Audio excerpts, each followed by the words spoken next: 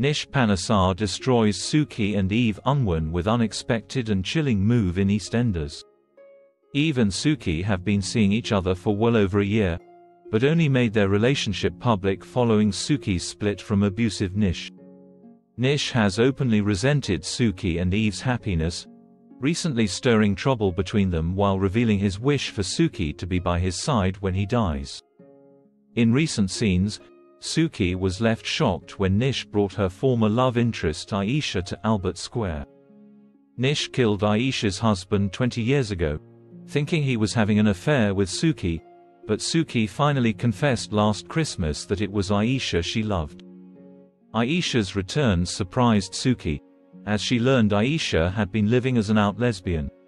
Later, they joined Eve at the Queen Vic, where Nish tried to cause trouble. Eve was clearly rattled by his words, though best friend Stacey Slater tried to assure her that he was just trying to come between them. After having a run-in with Nish in the cafe, Eve decided to propose to Suki, but was left devastated when she fled the scene instead of giving an answer. When Eve later returned home to find Ayesha there, she was furious, and a huge row broke out between Suki and Eve.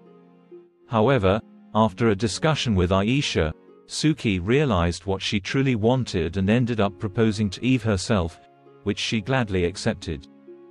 In upcoming scenes, Nish continues his schemes, making Ayesha a tempting offer in his latest attempt to drive a wedge between Suki and Eve.